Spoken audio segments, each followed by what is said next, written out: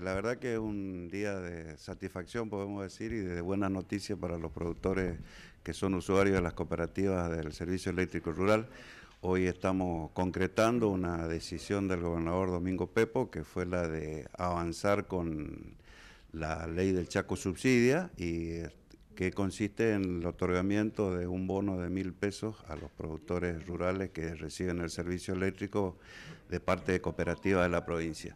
En este lugar estamos con, justamente con directivos de la cooperativa Norte Chaqueño y de la cooperativa Mapuy Treileta, haciéndole la entrega de los bonos que las mismas van a tener que distribuir a sus usuarios, digamos.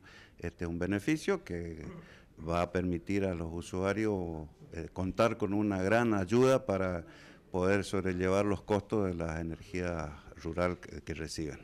¿Esto es a partir de cuándo? ¿Qué facturación?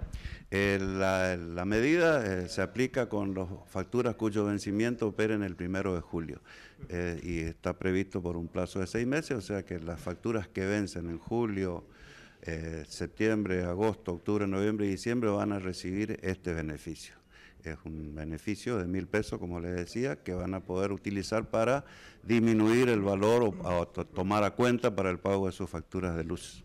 ¿De cuántos usuarios estamos hablando, ingeniero, y cuánto es la inversión total de este esfuerzo que hace el gobierno? Bueno, este esfuerzo alcanza a más de 14 mil usuarios rurales que son atendidos por las 15 cooperativas que están distribuidas a lo largo de la provincia.